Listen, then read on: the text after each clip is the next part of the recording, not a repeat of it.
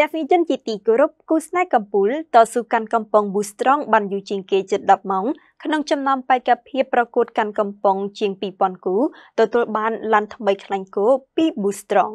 ប៊ូស្រង់សំណាប់យងដីស្រីយងប្រុសទោះបីជាមានអ្នកចូលរួមប្រកួតជាង2000គូក៏គ្មានបញ្ហាសម្រាប់អតីតអ្នកប្រដាល់គុណខ្មែរខំតស៊ូអត់ធ្មត់ជាមួយភរិយារហូតទទួលបានជ័យលាភីកាន់កំប៉ុងប៊ូស្រង់យូរជាងគេជិត10ម៉ោងអបអរសាទរបងប្រុសហ៊ុនសំណាងនិងបងស្រីត្រីចន្ទទីលេខរៀងទី